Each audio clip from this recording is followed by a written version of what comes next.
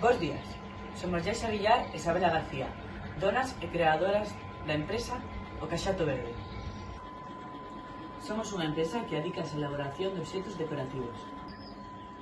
A idea desta empresa surgiu a raíz de que pechase a empresa en que traballábamos e decidimos seguir.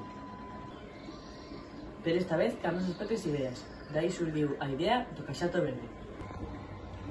Con esta iniciativa pretendemos achegar a todos os fogares do mundo, As nosas decoracións de materiais naturais que son biodegradables, reutilizados e reciclables.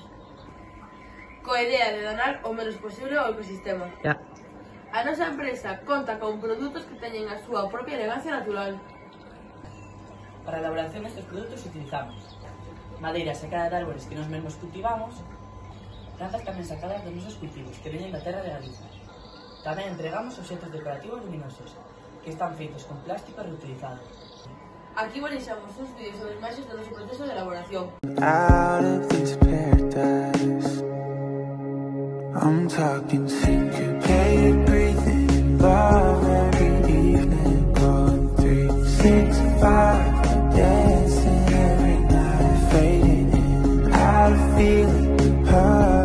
Outras das vantaxes que ten a nosa empresa é o baixo custo do material, xa que no único que investimos é no cultivo de terra dos nosos montes, onde máis gastos tivemos foi na comercialización, dado que fixemos varios anuncios publicitarios a diversos medios de comunicación, tanto no noso país como no estranxeiro. Da mesma maneira, tamén elaboramos tarxetas que repartimos por diversos establecementos, por todo o mundo, co obxectivo de darnos a coñecer e tamén o pago de man de obra. Tamén temos gastos de envío a domicilio, pero todos estes gastos cúbrense ca maravillosa venta que estamos facendo. Os produtos máis demandados son Luz do Bosque, que costa 84,99 euros, Resplandor Silvestre, con 75 euros, Bilbo, con 30 euros e o Nadal Rústico, con 55 euros.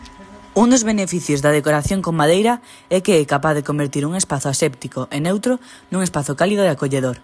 Ademais, múltiples estudos afirman que é un material que provoca efectos moi beneficiosos e placenteiros nas persoas.